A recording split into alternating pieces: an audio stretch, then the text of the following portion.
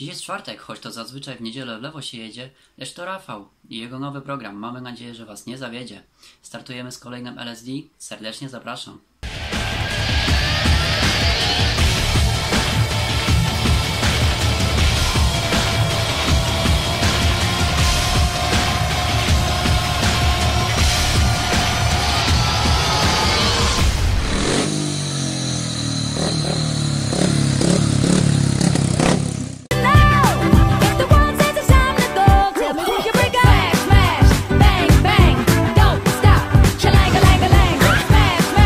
Jest, zgadliście. Dzisiaj będziemy mówić głównie o utrzymaniu i tak ten gość nie wytrzymał i wpadł do rzeki, tak yy, jedna z trzech drużyn prawdopodobnie wpadnie do pierwszej ligi PG Ekstraligi. Kandydatów mamy trzech i o tym będziemy dzisiaj rozmawiać w większej części tego programu. Dzisiaj są z nami Kuba Łączkowski, który fantastycznie zapowiedział ten program. Cześć Kuba, jak to zrobiłeś? Po prostu fenomenalnie.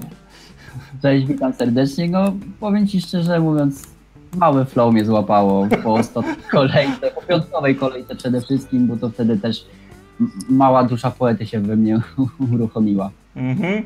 Jest Przemek Ciućka z Gorzowa, yy, przegląd sportowy. Przemek, jak podróż z Tarnowa?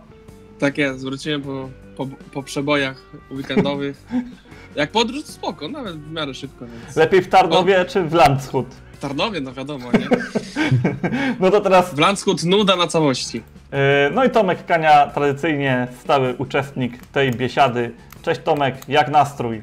Bywało lepiej, cześć. Przedstawimy Wam wyniki spotkań 11 kolejki, która tak naprawdę odbyła się w niedzielę, a w piątek mieliśmy przedsmak, ale to tam awansem mecz 13. Y, Też tam krótko o nim y, wspomnimy. Mr. Garden GKM Grudziądz wygrywa z Toruniem piekielnie ważny dla siebie mecz 49-41, horror straszny. Y, Grupa Azoty Unia Tarnów przegrywa u siebie ze Stalą Gorzów 38-52. Y, Falubas tej, w takim samym stosunku przegrywa u siebie z Fogo Unią Leszno. No i Betard Sparta Wrocław wygrywa u siebie z Włókniarzem 48-42. Na początek sobie weźmiemy dwumecz Stali Gorzów. Yy, najpierw ten z niedzieli, czyli w Tarnowie. Posłuchajcie, co miał do powiedzenia po tym meczu. Najpierw Kuba Jamruk, a później Krzysztof Kasprzak, niekwestionowany lider yy, gorzowskiej Stali.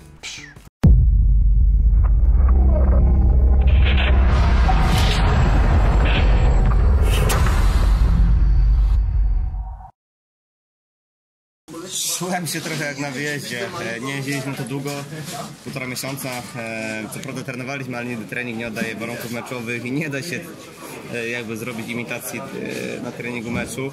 Dlatego mieliśmy status meczu zagrożonego i ten tor był bardzo mocno ubijany i chroniony przed ewentualnymi opadami deszczu, które w sumie na szczęście nie spadły. Teraz jakby zbieramy jakby złe żniwa tego, że nie wygrywaliśmy na wjazdach. Bo jakbyśmy jakby jakiś gdzieś tam bonus czy coś, to teraz byśmy nazwijmy to, że ten mecz przegrany byłby wkalkulowany, a tak to liczymy tylko i wyłącznie, żeby wszystko wygrywać na, u siebie, a nie da się, bo to jest życie i zdarzają się wpadki każdemu zespołowi, nawet u siebie i po prostu bardzo, bardzo zbliżymy się do minimalnej granicy błędu. przez dobę się nikt nie nauczy jeździć, ani nie oduczy jeździć. Dzisiaj jest bardzo ważne dopasowanie motorów. Kto dopasuje ma formę, a jak jutro nie dopasujesz motocykli, nie masz formy. Unia Tarnów to łatwy był przeciwnik. Nie, nigdy nie jest łatwy przeciwnik, jeszcze tym bardziej u siebie. Przegrali pierwszy mecz, więc nie są łatwym przeciwnikiem. Mhm. Cieszę się z wygranej. No więc właśnie, zanim przejdziemy do, do tego wyniku i rozstrzygnięć, co znaczy ten wynik dla każdej z tych drużyn, to Przemek, ty byłeś w Landshut, Krzysztof Kasprzak tam zalicza w topę, jakiej świat nie widział od czasów potopu. Na drugi dzień Krzysztof Kasprzak zupełnie inna persona. Tak jest. Z tego co założyłem, Krzysztof Kasprzak e, ma taki dziwny zwyczaj, że tam gdzie tor jest e, robiony w poczekaniu i tak dalej, to on nie jedzie, a tam gdzie jest równo jak stół i, i wszystko jest fajnie przygotowane, to on jedzie. I to, i, i to tak właśnie wyglądało w Landshut i w Tarnowie. W Landshut ten tor, jak przejechałem o godzinie 16 w ogóle nie nadawał się do jazdy. I najbardziej właśnie krę- kręcili nosami zarówno team e, Kołodzieja i, i ten, i Kasprzaka. Z tym, że właśnie Janusz pojechał na całego i się nie bał, a Krzysztof chyba sobie po, po prostu odpuścił, żeby, żeby się nie nabawić żadnej kontuzji przed, przed playoffami. E, Pierwszy łuk trzymał się może motocykl z tyłu. Dziwnie to zabrzmi, no ale tak się trzymał. Motocykl z tyłu. Na wejściu w drugi łuk już miał 3-4 motocykle do tyłu, więc No widać, że odpuszczał ewidentnie i w drugim, w trzecim starcie to już była totalnie start i, i, i zamknięcie gazu i do widzenia. Fuck this shit, I'm out. Fuck this shit, I'm out. No thanks. W Tarnowie no to już była, widać, że tor był inny, ina- inaczej przykodowany. Krzysiek też w, tam, w Tarnowie jeździł y, jakiś czas temu, więc tam ścieżki znał. No jak widać 14 plus 1, tylko to o, tylko mówi o tym właśnie, że ten tor mu pasował. Mhm. Tomek, no to y, co by nie chcieć, to, bym, to muszę przejść do ciebie. Krzysz- Krzysztof Kasprzak w Tarnowie mm, wychodzi na to, że lubi jeździć, ale nie lubią go kibice, a teraz go chyba jeszcze bardziej nie lubią. No Oczywiście tak, mówię, no. mówię pod tym względem, że dokonał rzezi, niewiniątek. On sobie chyba z tego nic nie robi i tak naprawdę e, zaczęły się te gwizdy tam parę lat temu po finale IMP, jak na Krzyśka gwizdali Ty gwizdajcie się. I był najlepszym zawodnikiem meczu, więc to chyba nie jest dobry pomysł, żeby na Krzyśka gwizdać w Tarnowie, bo to jakoś na niego przewrotnie działa i chłopak dostaje jakiejś do, dodatkowej motywacji, dodatkowej prędkości i robi po prostu Tarnowowi z dupy jesień średniowiecza. Mhm. Na średniowiecza cię trochę lekko przycięło, ale każdy chyba wie o co chodzi. Cenzura była nie w tym miejscu, co miała być. Natomiast Tomek, y, no jak ty to widzisz? 38-52 y, Afterbirds, jak to mówią? Something is not yes. Something is not, yes. Zdecydowanie. Po prostu powtórka z Gorzowa, bo w Gorzowie było 53-37. Tutaj taki sam wynik. Nikt nie robi w Tarnowie więcej niż Mhm. 9. A Jezus Maria, pierwsza liga też jest fajna. W tamtym roku było fajnie. E, Kuba, z Twojej perspektywy, jak Ty te kwestie utrzymaniowe e, są według Ciebie? Która z tych drużyn? Czy to już jest tak rozstrzygnięte, jak się wydaje, jak wszyscy mówią, że Tarnów, e, że Tarnów lecił, ma najgorszy tam e, kalendarz e, na końcu rundy zasadniczej? Mm, Czy na przykład w Toruniu za, za dwa tygodnie Tarnów jest w stanie urwać bonusa? Wiadomo, wy, wygrał do 39 z Toruniem u siebie i Wiesz co, w sumie tak, terminarz jedno, ale y, tak jakby tor i już to, co się dzieje w trakcie spotkania, to jest drugie, bo y, widzieliśmy już nieraz, że na przykład y, w meczu Zielonej Góry z Petardem Spartem Wrocław, w którymś momencie Wrocław już no, miał, miał tę wygraną w kieszeni, tak? Nagle okazuje się, że Zielona Góra wraca do gry, wygrywa mecz i no w sumie trochę, trochę to pomaga im dalej teraz w walce o utrzymanie. E, więc oni są tak myślę, że w najlepszej sytuacji. Tarmów no, ma faktycznie ten e, najgorszy mm, terminarz, jednak e, odnośnie tego bonusa też w Toruniu, to są w stanie to e, utrzymać go. No i tak naprawdę teraz każdy punkcik się liczy, tak? To nie jest tak, że teraz tylko i wyłącznie liczą się wygrane, ale też ten dodatkowy punkt bonusowy może bardzo mocno wpłynąć na e, rywalizację, no ale też, tak jak mówię, mm, zobaczymy, co się, co się będzie działo na torze i to dopiero wtedy będziemy mądrzejsi po, po fakcie. No. Mhm, mhm. Przemek, pamiętasz rozgrywki Stali Gorzów w pierwszej lidze jeszcze? I ja pamiętam, znaczy, za, nie no, śmie, śmiejemy się, ale ja akurat zaczynałem chodzić na żużel jako, jako jeszcze dziecko, jak, jak jeszcze istniał w Gorzowie Perg Gorzów, więc nie, to była pierwsza liga, druga liga. Mhm. Pierwsza. Wydaje, wydaje, mi się, wydaje mi się, że pierwsza właśnie i, i, te, i te pojedynki z Ostrowem były zazarte praktycznie co sezon, więc y, no pamiętam, pamiętam te sceny, acz, aczkolwiek odkąd Gorzów awansował właśnie po starciu z Ostrowem do Ekstraligi, cały czas się w niej trzyma, więc No i powiedz mi właśnie, y, bo Stal Gorzów wygląda coraz bardziej na drużynę, która naprawdę może się postawić y, w Ogołni Leszno i Stal Gorzów chyba się nie ma kogo bać. Po prostu mają y, z Marzlika, mają Kasprzaka, Rakiety i jeszcze Waculik i Woźniak wracają do formy i... I jeszcze jest Walasny, który też może odpalić. A i o Gregu Więc- zapomnieliśmy właśnie. No. Greg to jest okrzyknięty chyba tam w Gorzowie transferem roku całej PG Ekstraligi, aczkolwiek Niki Pedersen być może też być na tym piedestale. Czy no aku, akurat z transferem Walaska to Gorzowie nie trafili w 100%, no bo robi tą czarną robotę, że tak, że tak się wyrażę w Gorzowie i tutaj po meczach szczególnie z Falubazem jest yy, grzechu noszony na rękach. Robi swoje, więc te 6-7 punktów ja od niego więcej nie oczekuję. Robi i naprawdę tu widać, yy, że też dzięki niemu i tej właśnie wykonywanej czarnej robocie w danym biegu, y, no to pokazuje, że gorzowianie są coraz mocniejsi.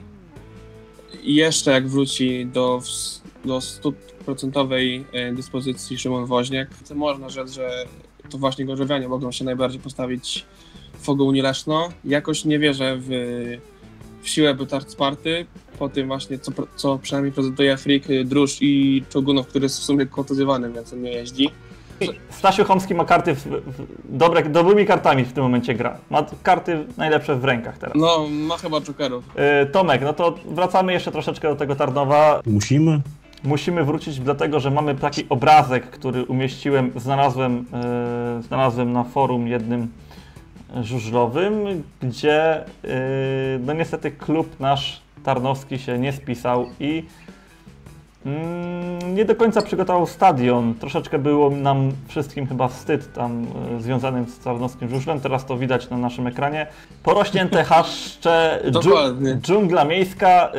Y, troszeczkę sobie zażartowaliśmy, że to może dlatego, w sumie dzik już jest, y, może biegać po tym lesie, a tu się okazuje, że jeszcze nawet pająk jest, jest taki, istnieje na świecie taki pająk, który żywi się roślinnością. W Tarnowie pająk też jest.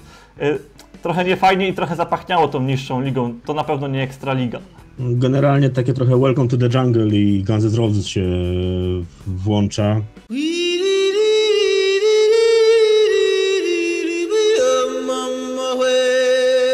No kiepsko to wygląda. No, z, jak zobaczyłem to zdjęcie, to mi się przypomniało zdjęcie stadionu w Łodzi, tylko że ten stadion już po prostu nie jest używany, on sobie może zarosnąć przez rok nieużywania.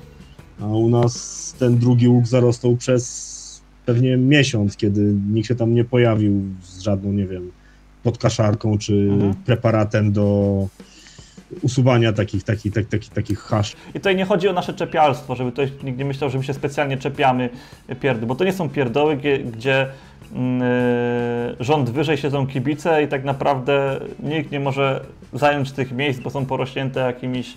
Z jednej strony masz y, porośnięty drugi łuk i to, nie wygląda fajnie, a jeżeli popatrzysz raz na to zdjęcie, to zobaczysz, że te ostatnie rzędy, no wiadomo, są całe przysypane żużlem, nie? No i tam też nikt nie, nie, nie siądzie, więc tak naprawdę, no, klub sobie trochę wytrąca argumenty z ręki, więc Mhm.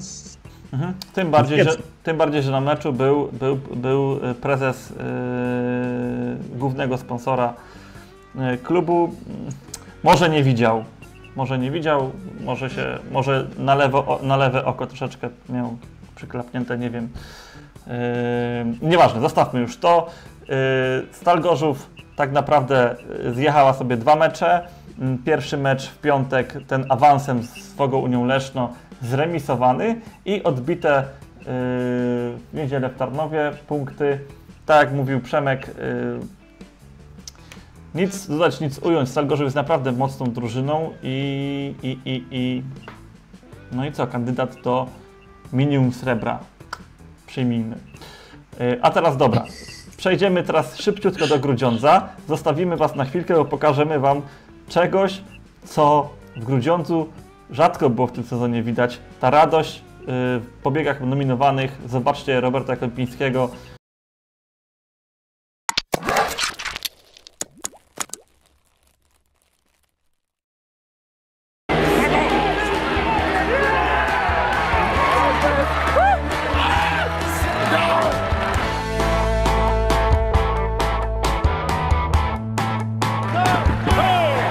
Mecz Grudziądzu śledzili nie tylko kibice w Grudziądzu, w Toruniu, ale też przede wszystkim chyba w Tarnowie, gdzie wlepieni w, y, w smartfony przecierali oczy ze zdumienia.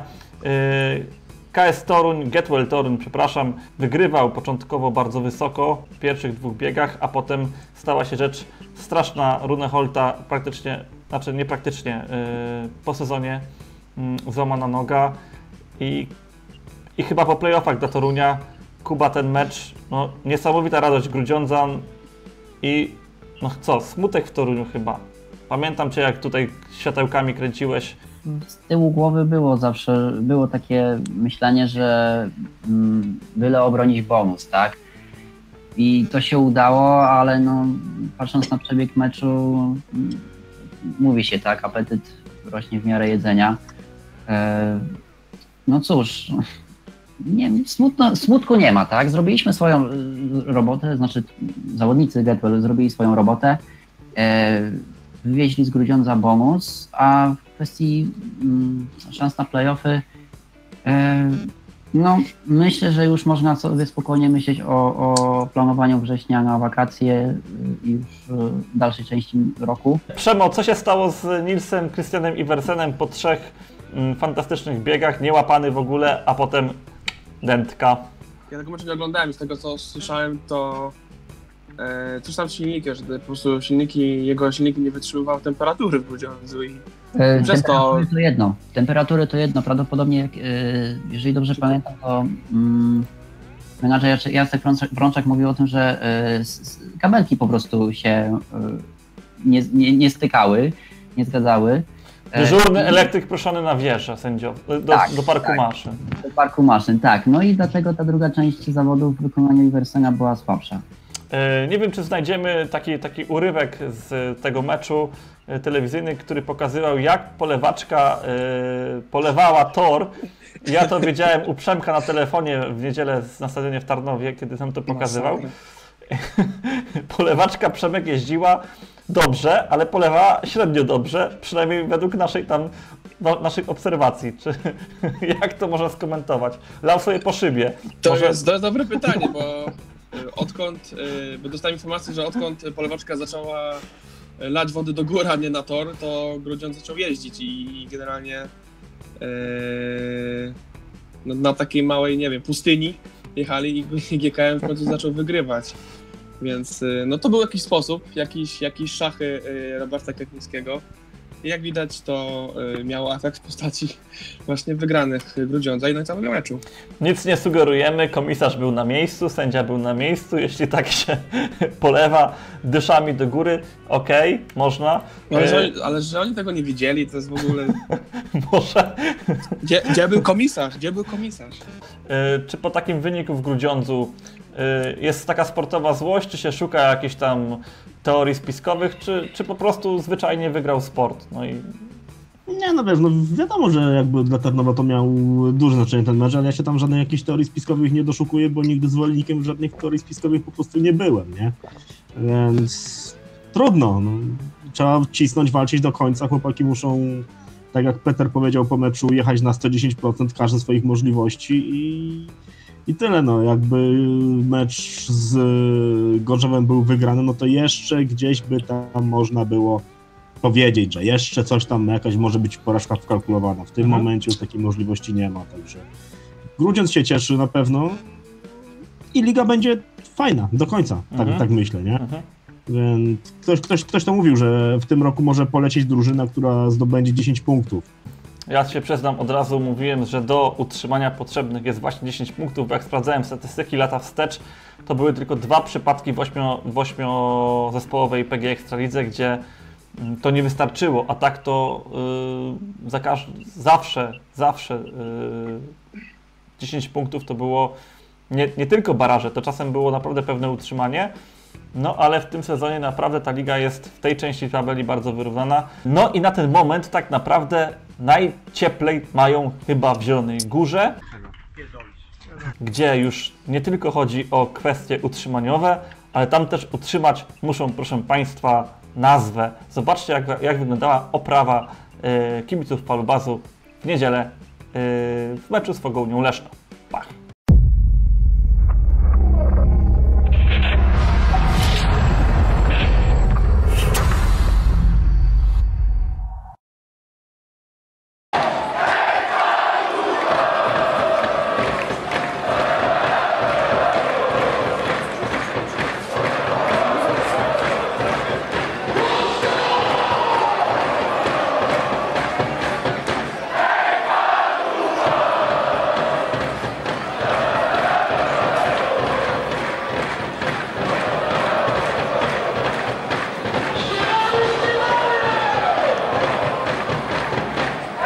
Falubas Zielona Góra na ten moment ma 7 punktów, y, jest drużyną ostatnią w tabeli, ma przed sobą jeszcze y, między innymi mecz wyjazdowy w Grudziądzu i u siebie z Unią Tarnów, czyli de facto do utrzymania y, dużo i mało, no ale według przecieków prasowych, według tego co się obserwuje, tam atmosfera jest nie najlepsza. Coś o tym wie Kuba, więc nam trochę opowie.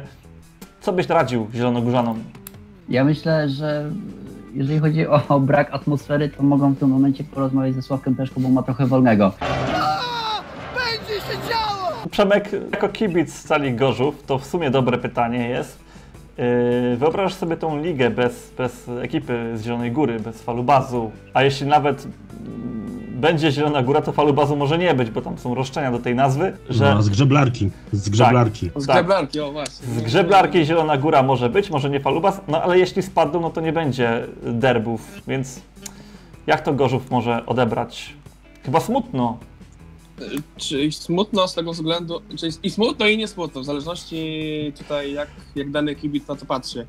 Ale patrząc już tak e, od strony takiej normalnej, to no spadek, upadek e, falubazu czy Zielonej Góry, już nie wiem jak to, jak to mówić, do, do, do, niż, do niższej ligi na pewno e, nie robi niczego dobrego dla województwa i dla samych stali, bo przecież derby ziemi lubuskiej od zawsze elektryzują oba, oba miasta i ja sobie tego nie wyobrażam, po prostu myślę, że e, Lubas się utrzyma jakimś cudem.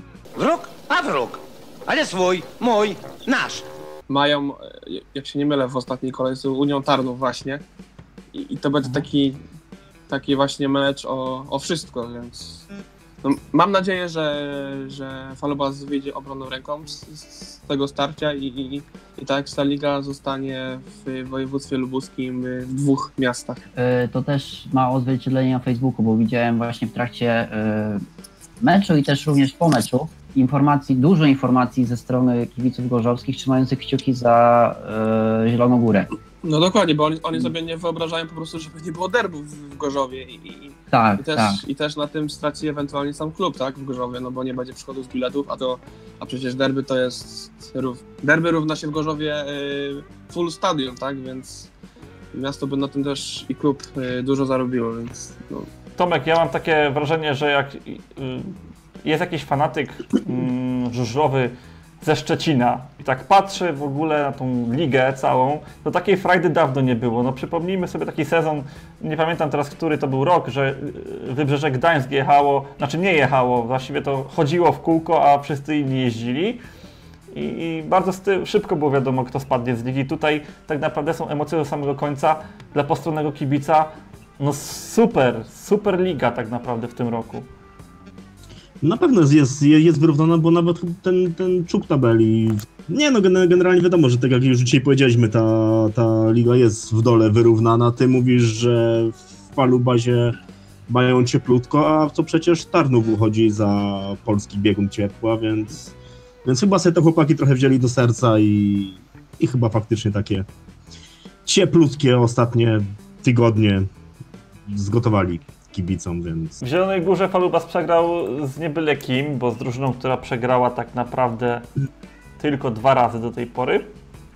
W Tarnowie, hehehe.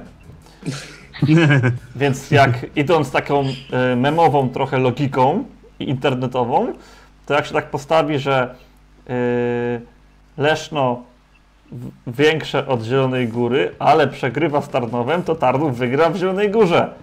Nie wierzymy w takie bzdury. E, matematyka nasze. Y, Dlatego, że Unia bardzo słabo jeździ na, na. To znaczy nie, że nie wierzymy. Przyjmujemy, że będzie ciężko wygrać Tarnowowi w Zielonej Górze. Mm, aczkolwiek widzę, że tam też widzimy jakąś zniżkę formy u niektórych zawodników. Y, No i Piotr Protasiewicz, który robi więcej punktów niż Patryk Dudek, Kuba. No właśnie. Przypadek. Wystarczy Przemek. nie sądzę, nie sądzę, nie sądzę, nie sądzę. Tyle meczów w Zielonej Górze. Teraz wjeżdża twarz Antoni. Więc w tym momencie y, posłuchajcie Maćka Janowskiego, który wypowiedział się po meczu y, z Forbet Włókniarzem Częstochowa w ten właśnie oto sposób. Odchodzimy od tej Zielonej Góry. Utrzymajcie tą nazwę, chłopaki. Cześć.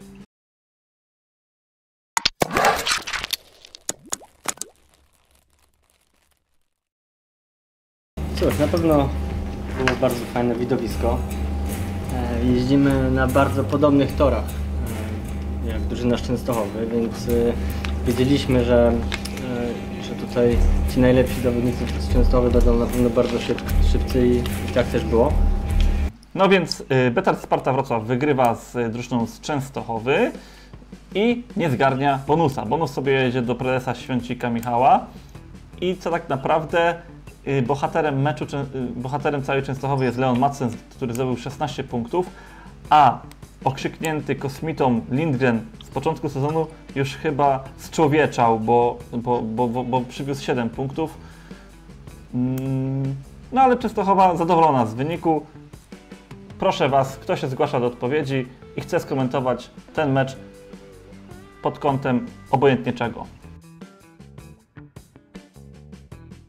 Może to już to jest tak, że Częstochowa to pół sezonu świetne, teraz jest taka Częstochowa prawdziwa, jaką wszyscy oczekiwali eksperci przed sezonem, I, ale już z tych playoffów nie wypadli i będzie tak naprawdę łakowym kąskiem dla innych zespołów, żeby z tą Częstochową właśnie jechać.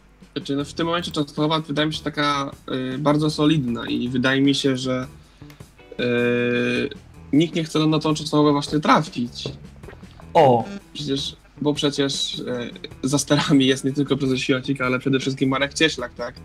Tam, y, więc tam, gdzie Cieślak nie powie czegoś, to zaraz wszyscy robią, więc przykład macie tutaj y, mecz w Gorzowie i, i, i, ten, i, te, i te przypadki z Torem, więc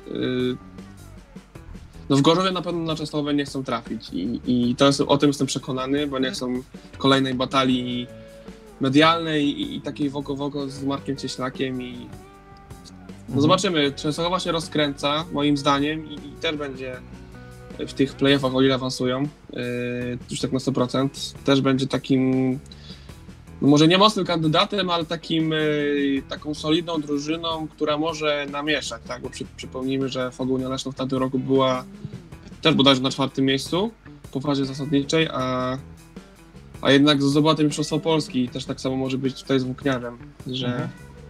jest za, za taką ścianą i nagle się wyłoni i pach, pach, pach i, i, może, i może poskładać całą linię, więc no zobaczymy. No, Załóżmy, Kuba, że jesteś, y, że żyjemy teraz w alternatywnym świecie. Getwell Torun jest zdrowy i jest na pierwszym miejscu w tabeli. Wolałbyś jechać z Wrocławiem czy z Częstochową w, play, w, w półfinale mm, ligi? Przypominam, Jeszcze jest Gorzów, jeszcze, jeszcze jest Gorzów. ale załóżmy, że Gorzów jest drugi, a, a Toruń wysoko prowadzi w lidze w ogóle science fiction. Na sci-fi będzie taki dokument niedługo, także spoko. Tak jak science, fi- science fiction to może być ten, Leszno może być na, na ósmym miejscu. To wystarczy, słuchajcie, wystarczy odpalić po prostu jakiś edytor i, i zrobić taką sytuację. Że Getwell wygrywa wszystkie mecze i wybiera rywala, ale e, pytasz mnie Wrocław czy Częstochowa? Oczywiście, że Częstochowa, bo ja sobie przypominam parę lat temu kapitalny półfinał, e, w którym to do ostatniego biegu nic nie było wiadomo. Nagle z wyniku 5 do 1 robi się wynik 3 do 2, gdzie Runge Holta defektuje na ostatnim okrążeniu. Toruń wpada w w szał radości, w Częstochowie cisza. No, dlaczego nie myśleć o powtórce tego? No, no. Ale to już zejdźmy na ziemię, tak? Wracam, wracam jak Lindgren na ziemię, tak? Słuchajcie, y, jedna i druga drużyna, jeżeli chodzi o, o Wrocław i Częstochowę, mają, coś, mają taki atut, mianowicie y, bardzo dobra jazda na swoim torze i ten mecz pokazał, że bardzo mocno mogą, mogą w tych swoich meczach podziałać, tak? E, I przez co mogą obronić wynik. No nie ukrywajmy, tutaj Wrocław niby wygrał to spotkanie, tak, ale u Częstochowie udało się utrzymać bonus. Więc to jest tak, no. Na styku, nie? wszystko. I na styku, tak, dokładnie, wszystko jest na styku i też y, mocno będą decydowały te spotkania w Częstochowie i we Wrocławiu. Ale tutaj zaznaczam bardziej Częstochowę, bo, bo tak właśnie myślałem o tym, że oni tą robotę robią u siebie, a później po prostu odpalają tryb obronny tylko po to, żeby utrzymać jak najbardziej korzystny wynik. Jeżeli się natrafi wygrana, oczywiście no, biorą, tak jak każdy zespół, no, kto będzie gardził wygraną. Mhm. Tomek, to Ciebie zapytam o to, yy, oczywiście sprowokowałem tą dyskusję mówiąc, że, że, że, że Częstochowa yy, jest, może nie użyłem słowa słabym, ale że zespołem, który jest łatwo pokonać. Yy, przyjmijmy, że we Wrocławiu to jednak jest bardzo dobry wynik i to rzeczywiście jest nieprzyjemny przeciwnik. Mm, mogą wygrać półfinał Częstochowianie z Markiem Cieślakiem na czele. Nie, ja myślę, że oni trzecie, czwarte miejsce będą na koniec sezonu. Tak, tak, tak, tak, tak, takie mam wrażenie, że jednak jeżeli trafią, no, trafią albo na Gorzów, albo na Leszno, to, to, to, to, to jednak będą się musieli pogodzić z porażką i raczej, raczej skończą albo na najniższym stopniu podium, Mhm. albo na czwartym miejscu. Dobrze, to teraz ja chciałbym tak, żeby dosłownie w czterech słowach powiedzieć mi, kto będzie mistrzem, wicemistrzem, brązowym medalistą i kto spadnie z y, PG Ekstraligi. Rozliczymy się po sezonie. Kuba. E, Pierwsze miejsce Pogołunia, drugie e, miejsce Wrocław, trzecie Częstochowa i na czwartym miejscu Gorzów. Mm, poleciał teraz. Przemek. Yy, Patrząc na, te, patrząc na obecną formę, yy, Gorzów, na odwrót powiem, Gorzów, yy, Częstochowa, Leszno Wrocław. O, też odważnie. Nawet nie chodzi mi o pierwsze miejsce, ale, ale Muszę, dalej. muszę pójść do Bokmachera, bo coś czuję, że to będą duże kursy. Tomek? Ale nie, Mi powiedzie, się wydaje, nie, że- nie powiedzieliście, kto spadnie. Ej, jeszcze wracamy. Kto spadnie? Kuba? Śmiało, bez, No, bez, nie ma przyjaźni. Nie ma przyjaźni. nie ma- To Tarnów, Tarnów! to Targo spada. Nie, ja myślę, że e, jakiś czas temu mówiłem o tym, że e, Zielona Góra się utrzyma, ale myślę, że, że jednak Nie. w tej sytuacji, no, nie. Mhm. Przemek, kto spada? No jest to drużyna. Ha. Nie no, to, pół żartem, pół serio, Tarnów. Tarnów spada. Tomek? Teraz pierwsza trójka i, i, i Spadkowicz. Pierwsza trójka to jednak mi się wydaje, że Leszno się obroni. Za nimi będzie, no właśnie, albo Gorzów, albo Wrocław. Leszno, Wrocław, Gorzów. I Spadek? I spadek najsłabsza Tak. drużyna. Dobra, ja... Mnie w bardzo, postawiłem siebie w bardzo ciężkiej sytuacji. Leszno, Gorzów, Częstochowa, Tarnów niestety mam nadzieję, że będę to odszczekiwał. y, Pierwsza liga. Mm, I właściwie dochodzimy do końca. Ten pasek, y, który tam sobie idzie od waszej lewej do prawej, już jest pewnie bardzo blisko tej prawej strony. No w końcu. Yy, ale jeszcze zanim skończymy, troszeczkę o tym weekendzie, który nadchodzi. To znaczy, podobne pytanie. Yy, czy uważacie, że ten weekend, gdzie jest MIMP, IMP i IMME, to jest jak zupa, ziemniaki i deser? Do, tego, do tych wszystkich skrótów brakuje jeszcze FBI, CIA i NYPD. Wiesz co, nie, ja traktuję te dwie imprezy w równym stopniu. Ja myślę, że jedno, jedna impreza jest jednym daniem powiedzmy sobie na sobotę, a drugie jest e, drugim daniem na niedzielę. E, takie, ko, takie kotleciki bite na niedzielę. Jesteś bitki w Znaczy sosie. nie, ja, i, tak, dokładnie. E, więc ja traktuję te, te imprezy równorzędnie i na obie czekam z taką samą niecierpliwością, żeby odpalić telewizor i w ogóle i w niedzielę pójść na stadion w Gdańsku, żeby obejrzeć zawody. Mhm. Przemek? Znaczy, No niewątpliwie najważniejszą, najważniejszą imprezą w ten weekend, na najbliższy weekend jest, jest sobota i, tutaj ten finał IMP no wydaje się być najbardziej wyrównany. Patrząc na to, co się działo w IME przed laty, generalnie nudne zawody i, i, Masę testów? i, i masa testów właśnie y, przez zawodników. Najbardziej taką wyr- wyrównaną wydaje mi się rywalizacją właśnie będzie ta, ta, ta sobocznia. MIMP piątkowy będzie taki przedsmakiem i wydaje mi się, że, że tutaj Czyli z moją teorią jest wszystko takim, w porządku. takim daniem, tak, dokładnie, takim głównym daniem na pewno, taki schabowy z buraczkami będzie, będzie w sobotę. Tomek? Króciutko. Nie, no na, na pewno sobota to będzie główne danie. Przystawka będzie w piątek, a deser w niedzielę. No, tak, tak, tak się to sensownie. No, no. Tak, tak, tak, dobrze. Niedzielę dobrze. rosołek akaca. Yy, no.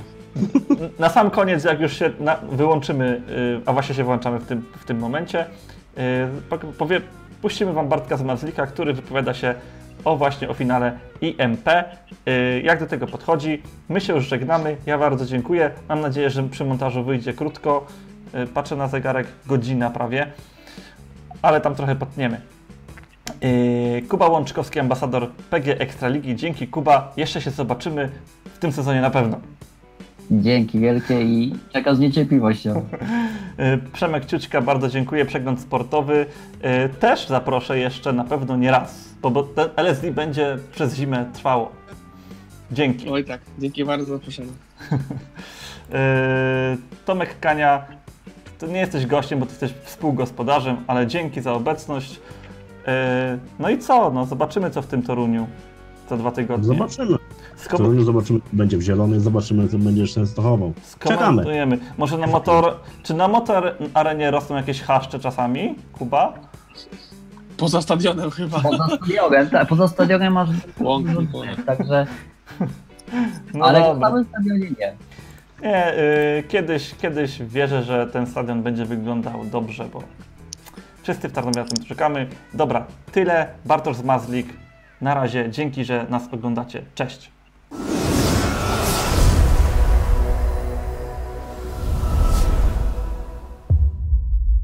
Tak dla zawodnika, który ściga się w Grand Prix jest, wiadomo, celuje, jest bardzo blisko tego, tego topu yy, mistrzowskiego. Takie zawody imp jeszcze... A kto by nie chciał być mistrzem Polski? No to właśnie... Na razie co to byłem e, wicemistrzem Polski i tylko juniorów mistrzostwo Polski mi się zdołało. E. Żeby to nazwisko Zdobyć? by- E. na, czapce. na tej czapce.